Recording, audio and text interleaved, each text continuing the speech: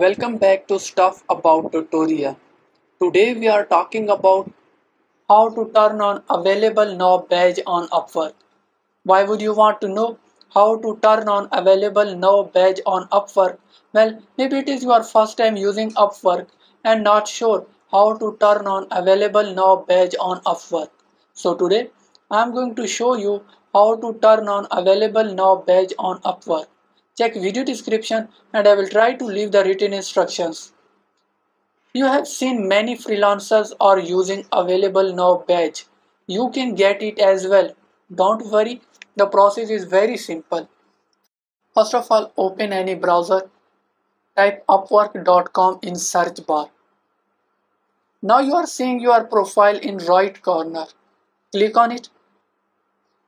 Now you are seeing available badge near to the profile picture. Also seeing pencil icon in front of available badge. Click on it. Now click on turn on. Your available now badge will be turned on.